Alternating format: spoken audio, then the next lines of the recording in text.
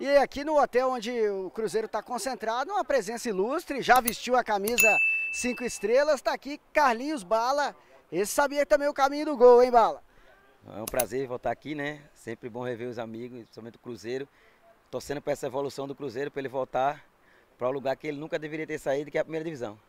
Como é que tá agora o Carlinhos Bala? Tá fazendo o quê? Já tá até com adesivo aí de proteção na canela aí, mas agora é só pelado. É, não, a gente bate umas peladinhas, né?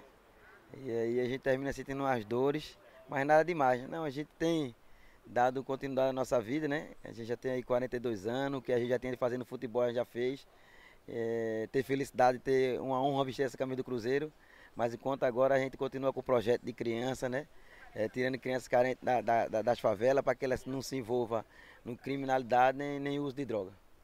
Tem saudade desse tempo de jogador de futebol, com certeza contando essas lembranças aí do seu tempo lá em Belo Horizonte. Foi uma boa época da sua vida, né, Carlinhos? Foi, foi, foi boa, mas ali já faz parte do passado, né? Agora a gente não pode estar tá se apegando ao passado, temos que viver o sempre o presente. Foi bom, já passou, o que a gente já conquistou foi tudo da vontade de Deus. Não sinto falta não, porque que, o que Deus me deu foi muito bom. Né? Hoje eu dependo e vivo daquilo que Deus me deu, usufruí bastante. Né? Aqueles momentos que a gente teve no futebol foi maravilhoso, principalmente vestir a camisa do Cruzeiro. Né? Isso foi maravilhoso e sempre que a gente pode ir em Belo Horizonte é bem recebido, né? Porque foi uma passagem curta, mas foi uma passagem boa. Né? Fizemos amigos, vestimos a camisa e honramos a camisa do Cruzeiro.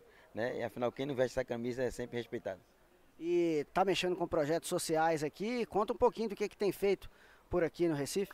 É, tem, né? A gente somos daqui de Recife, né? E aí a gente tem a gente montou esse projeto aí ano passado, né? Como é que chama? É o projeto CB11, né?